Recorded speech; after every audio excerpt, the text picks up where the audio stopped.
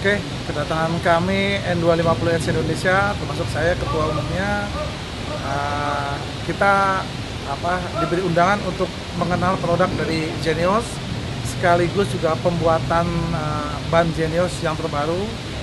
Jadi kita bisa ngerti dari A sampai Z-nya ban itu uh, kita pakai. Oke, uh, saya takjub juga karena begitu besarnya pabriknya dan begitu canggihnya peralatan untuk pembuatan ban di Indonesia, apalagi uh, pabrik ini adanya di Indonesia. Saya baru tahu sampai segitu canggihnya sampai kita bisa uh, membawa ban itu di jalan. Setelah kita coba dan memang ada hasil di sana, apalagi sampai juara satu, jadi nanti kita menghimbau untuk teman-teman uh, member uh, jikalau memang uh, dananya cukup ya udah mendingan beli ban lokal tapi dengan kualitas yang internasional. Ya, uh, karena kebetulan saya pakai enam memang belum ada ukurannya, tapi member-member kita sudah pakai dan hasilnya semuanya uh, baik, sangat positif dengan harga yang terjangkau.